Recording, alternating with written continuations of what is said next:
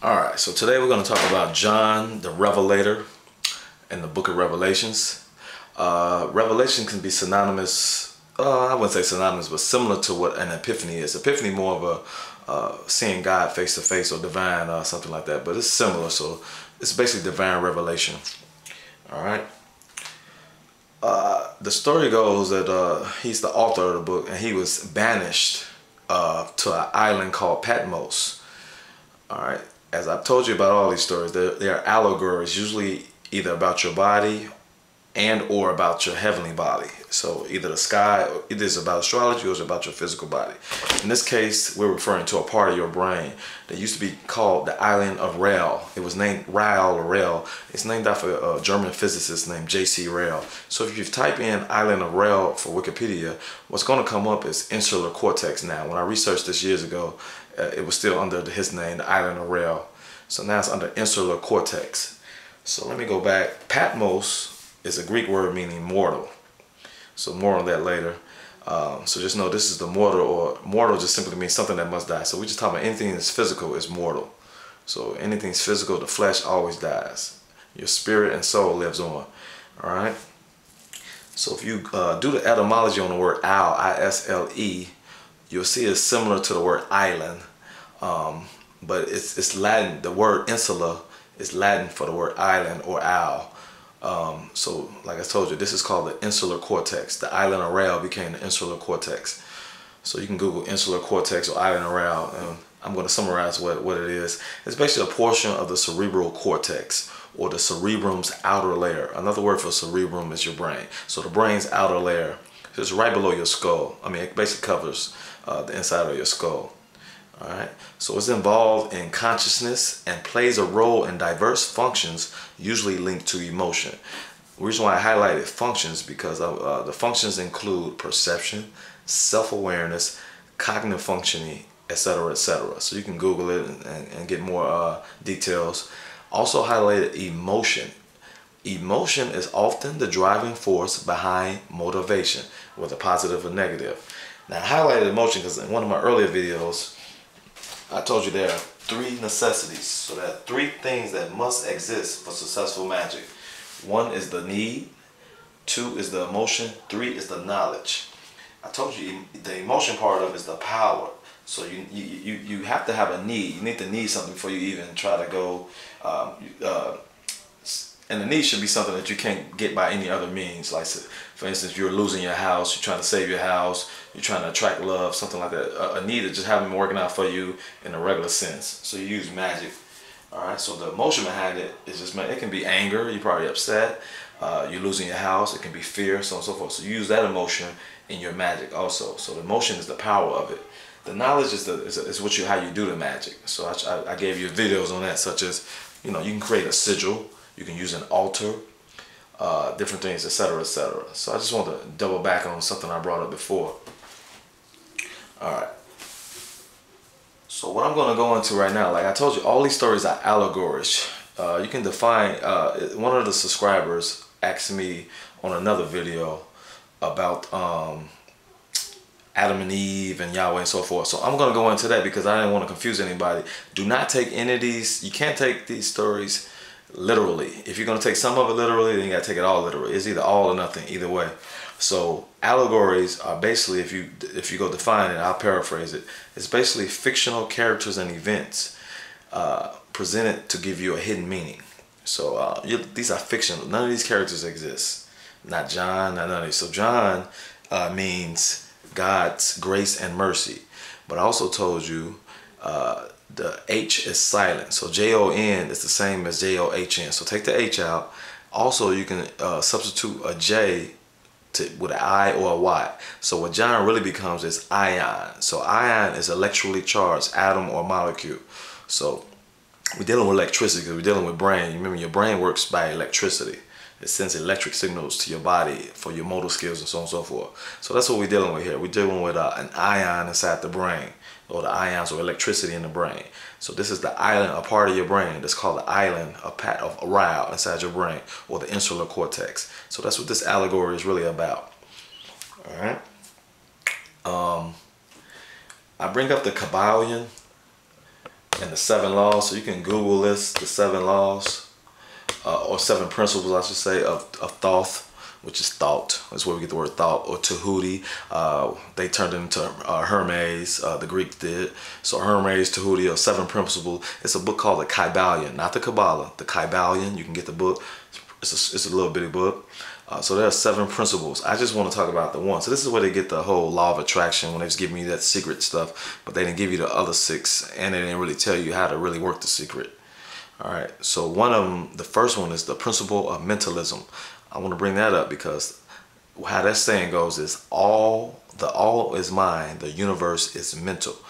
So all these things, the Kabbalah tree of life, all these stories, these is all in your head we just use these tools. It's called low magic. We use these tools like altars and different things just to get us out of this physical way of thinking. We fail so far that we forget that this stuff that we're really not really really physical and solid. All right. Science tells you that your atoms are made up of 99.9% space. Uh, but we think everything is solid because it's vibrating so fast and it's so so small. We think we're really solid. All right. So just understand this is an illusion and, and we, we, we have to get out this illusion and know that we're, we're all, all is one. Okay? Um, so I just want to bring that up because he was asking me a question about uh, how did, he, he thought I said Yahweh was a physical God. How did Yahweh, if, if Adam and Eve were uh, cells or, or the uh, sperm, uh, sex cells that in the process of meiosis, uh, why did Yahweh create them and why he didn't want them to have sex or something like that. So he immediately took an allegory and took some parts of it as allegory and other parts he tried to make it true or literal, like they can really have sex. And like Yahweh was a real person or a real physical thing. All right. So that's why I want to bring up the, the law, the principle of mentalism. This is all in your head. We're just trying to get back to the source. So uh, I'll go into Revelations, then I'll double back because I'm going to use the uh, Kabbalah Tree of Life to answer his question and to bring this one home also. All right, so the Revelation, uh, you can read the whole chapter one. You can read the whole thing, but chapter one talks about, in, in around verse four, John, this is called the salutation. He's saluting the seven churches. So John to the seven churches which are in Asia, grace be unto you and peace, from which has once has come and so on and so forth, and the seven spirit. So I'm just you can read it yourself, but he's basically saluting the seven churches if you go on down a little bit further into that chapter one, uh, Jesus talks has seven stars in his right hand and seven candlesticks in the left, something like that. He'll tell you that the stars are the angels of the churches and the candlesticks are the churches.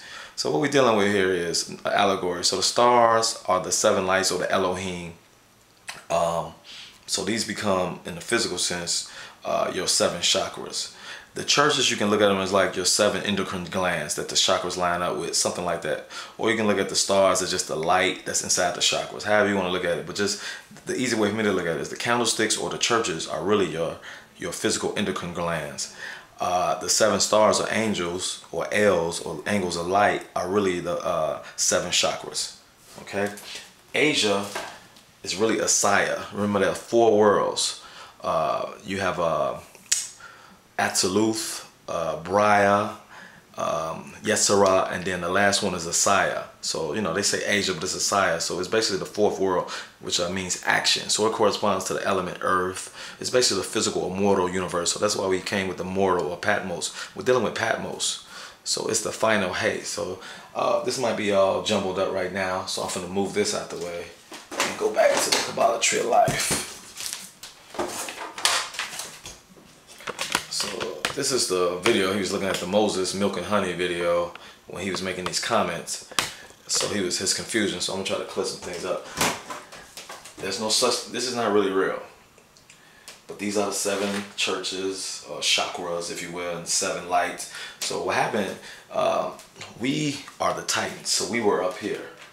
So we are the Elohim. In Genesis 1, it's let us make man. Us is the Elohim. Elohim is just a plural form of gods and goddesses. So there was seven lights. Uh, and we created Yahweh. In Genesis 2, it starts talking about Lord God. So if you don't know Hebrew, you don't know. They just basically flipped it on you. So now we're talking about Yahweh, which is Lord. They start calling Lord God. So Yahweh is synonymous with Zeus. So he comes into play under this abyss. So in the Gnostic form, I told you his name was Idalaboth. So, um, so this is the architect of the physical universe. So he misunderstood me as saying Yahweh was below the throat. So this is I was just showing you how the, the tree of life lines up with the body as well as how it lines up with the universe. So Yahweh are this, the Hebrew vowels. I told you these are three of the vowels. Aleph is, is the other is the fourth vowel that they use. So we use it. We use three of the vowels and we use one of them twice. The second hey corresponds to Assiah. Okay. So I talked about the four worlds in another uh, another video. So you have to go back and uh, look at that one. Um, so this is Assiah or Asia where the seven churches are stuck in. So this is the physical world that these seven chakras, which are lined up with our seven endocrine glands. Now, you need to understand this is none of this stuff is real because this is all an illusion. This is all in our head. But we've we've fallen so deep down that we've forgotten that we're really just light beings. All right. Uh, what else can I say about this? Uh, the analogy I use uh, is the, the archetypes. The first word is absolute or the archetype. So I use an analogy of a tree. So you have a tree. The next world is creative world or uh, Briah. Uh, the creative world, you start thinking being creative with it. So I picked two things you can do with the tree. You can make a desk or you can make paper. So that's when you get creative with, oh, what I'm going to do with the tree, which is the archetype. Then you go to the creative part. Now you want to form what you created mentally. So in the creation world, or Yetzirah, this is the formation. So we form it, you form paper, you cut it, and what I make into paper, and then you form the materials for the desk. Um, and you put it together. The last one is where we at, and what we're dealing with the mortal or physical world, where John is at, is, is the um, Asia or Assiah. So this is the the manifestations world. This is where it's everything where it's done. Um, this is where you have a final product and you use what you've made. So this is where you put to use what you've made. You uh, use the desk and you put the paper on the desk and, and write on the paper. All right, so that's the analogy I can use. Um, make sure I didn't leave out anything. Um, so some of the things like he was saying that Yahweh was below the throat, so don't mix up the story. Most of these allegories have more than one story going in it at one time. I told you the Jesus story is also about your spine and 33 and all that stuff, but it's also telling an astrology story all in one. So when you look at these allegories, don't think that you're telling one story at one time. Both both stories are not meant to be taken literally, but it's more than one story going on at one time. So that's what I was demonstrating right here. This can be lined up with your body and your chakras as well as lined up with different worlds. So there's no really no such thing as all these different worlds or these 10 different emanations. They're really one on top of each other. So these four worlds I'm talking about, they're really all in one. That's where you get the verse in the Bible where it says, in my father's house are many mansions. So just change the word house to mind and mansions to dimensions. So in my father's mind, because all is mind, which is the father is all, in my father's mind are many dimensions. All right, so we're just different, dealing with different vibrations. So, so as you, if you change your vibrations, what meditation and magic does, you'll be able to go into these different dimensions. But if you're vibrating at a certain frequency, you're gonna always appear to be solid. So physical in the physical world, or be more dense. Um, so I just want to clear that up. Um, you gotta understand, we created Yahweh. Yahweh is just a, is a vow. We made vows a vowel, V-O-W-E-L, is a vowel to L. L just means light or power. So that's our emotion. We made the vows. We were the Elohim that came from this, the darkness or the void, the, the, the, tri the triple negative, triple darkness. We became from the negative void, and then we created what we call Yahweh in Genesis 2 with our vows or words. So these are the vows. But then we fell down here and start worshiping what we created. So we, we started worshiping our thought form. And that's why I told you, if you look at all the movies of the Titans, it's our fear or our worship of these gods that we created that keep them existent. All we got to do is remember that we came from up here and we the gods, we the Titans. We don't have to worship the Olympians. And then we'll ascend back to where we started. Alright. Hope that makes sense. Um, the main point of the video was to talk about basically John the Revelator and uh, how he is an allegory for your brain. So I hope you got that point.